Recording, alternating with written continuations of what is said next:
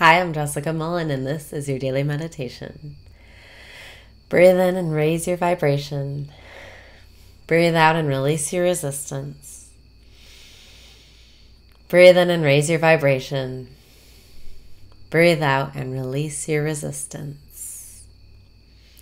Remember who you are. Remember that it's okay to step outside of your mind into the present moment in the present moment, everything is fun and there's nothing to worry about. Breathe in and step into your power. Breathe out and relax your body. You're in the right place at the right time. You're doing everything right. You have come so far. Breathe in and open up to receiving. Breathe out and celebrate how much you are receiving already. You are open, you are able, you are willing to receive now.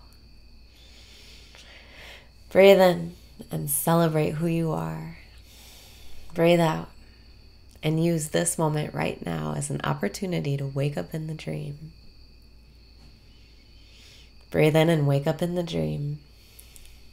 Breathe out and remember who you are. You are love. You are God in human form. You are the creator. Breathe in and be the creator. Breathe out and celebrate being the creator. Celebrate that you get to choose what you think and therefore create. Celebrate who you are right now, every step that's making you ask for this glorious manifestation. Breathe in and celebrate what you've manifested already. Breathe out and remember that your power as a manifester is to say, let there be, and then whatever you want. And there was. So, what is it that you want right now?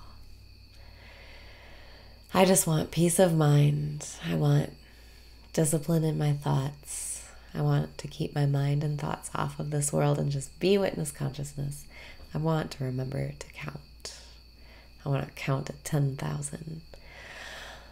Let there be counting to 10,000. And there was.